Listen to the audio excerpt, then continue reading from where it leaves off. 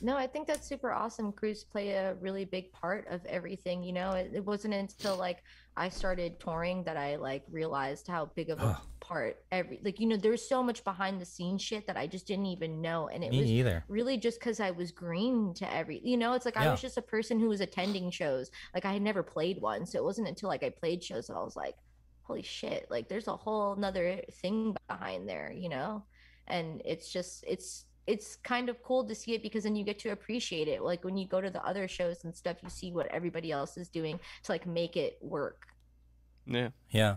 Yeah.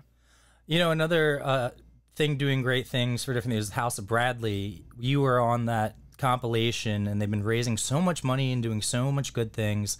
And every time I see them on tour, they're so nice. You know, they really, you know, you would think someone with or people associated with someone of that caliber could easily just, you know, act however or do whatever. But it's such an important thing to them.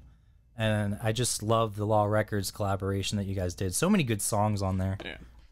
Uh, yeah i think it was really cool and you know just going back to like how down to earth they are like um kelly like the first time i ever met her there i had a show at oc tavern. I had never met her before but i knew she was coming.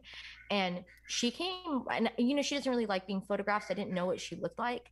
And so i was kind of looking out for her the whole night and she came right up to me and she was like oh like i love your song surface like blah blah blah. And i was like what? You know who i am? Like Yeah. you know and it's just really cool that like that like you know people care that much on the other end too like it's reciprocated. They know how much people care about sublime and bradley and like you know making a difference and they they show the care right back. So it's so great for the cause because it'll just help you know push it even further and get more money and stuff. And you know it's just a good positive vibe all around. So yeah they're they're fantastic. Yeah. And you couldn't pick a better band than Pepper to like ah. spearhead the initiative Yeah, initiative, of you know?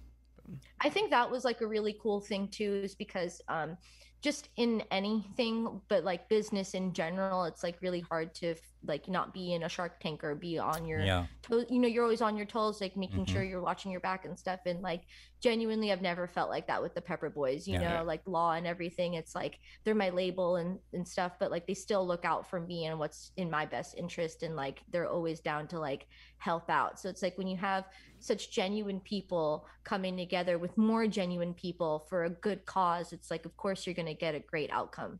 Yeah, Pepper for sure, but even within the whole scene, every band I've ever worked with has been a hands out approach, you know, like we help you, you help us. No one there's no like cutthroatness, there's no competitiveness. There's just we're all in this together, we're all doing the same thing. We all want everyone to succeed and uh, it's just a good culture in the whole scene, I think, you know.